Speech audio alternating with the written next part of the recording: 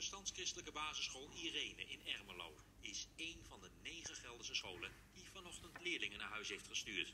Het gaat om 23 leerlingen van groep 7. En dat allemaal omdat leraar Uco ziek is geworden. Ja, de griep. Ja, het is niet anders. En u kon geen vervanger vinden? Nee, er was niemand te vinden. Maar de directeur is zelf ook ziek.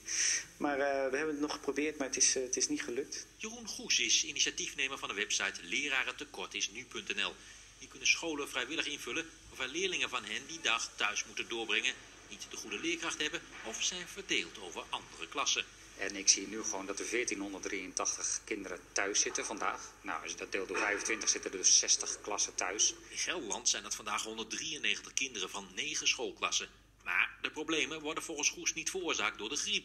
Volgens Goes laat de griep alleen maar zien dat er een structureel lerarentekort is in Nederland. Dat overigens alleen maar groter wordt. Natuurlijk is de griep uh, die nu, uh, nu wat extra uh, zorg baat, zeg maar. Maar als je naar de prognoses kijkt, volgens de cijfers zijn er nu 2000 leraren tekort in het basisonderwijs. In de komende zeven jaar komen daar nog eens 8000 leraren bij. Er hoeft er niemand ziek te zijn, maar dan hebben we al 10.000 leraren tekort.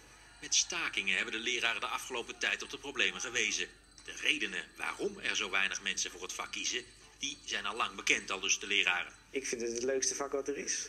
Maar ja, als je het vergelijkt met het bedrijfsleven, wordt er natuurlijk een stuk minder verdiend. Uh, de werkdruk druk ligt gewoon vrij hoog. Vandaar dat de leraren alweer nieuwe stakingen hebben aangekondigd om Den Haag te bewegen om meer geld in het onderwijs te stoppen.